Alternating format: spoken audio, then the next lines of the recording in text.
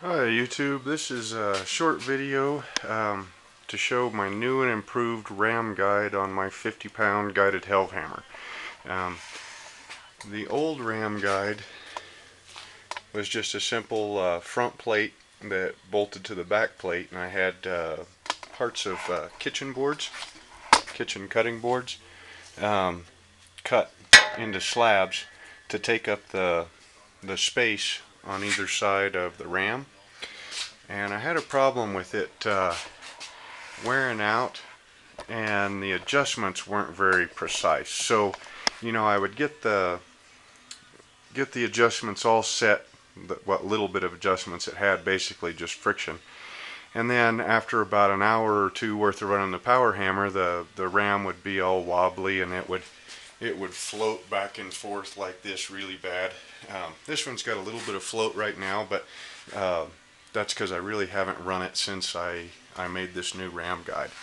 Um, the RAM guide is just a piece, looks like about, uh, I think it was three by three by five and a half or so inside rectangular portion.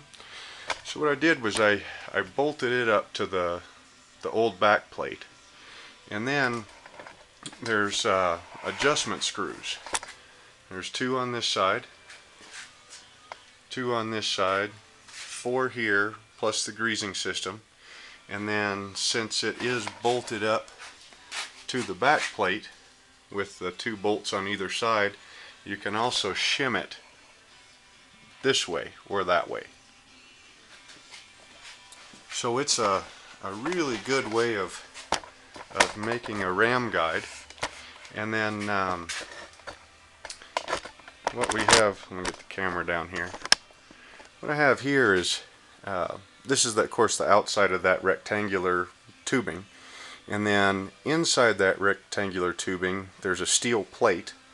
And then on the other side of that plate is the uh, the ultra high molecular weight plastic stuff that I got from McMaster-Carr. So these holes right here in the tubing, they're uh, tapped to accept these bolts and then you've got a lock washer and a nut on each one of them.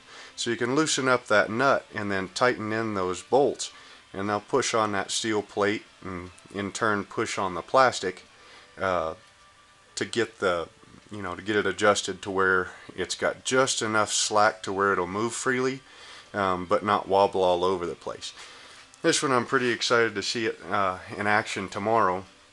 I spent probably oh, two or three hours yesterday afternoon building this whole setup and then today had to finish out some knives. So tomorrow I, uh, is a forging day so I'll fire it up and then as I'm running it I'll go ahead and adjust each one of these to take this what little bit of slack is in there out and as it runs in. And it should be a, a much better setup than what I had anyway hope you enjoyed it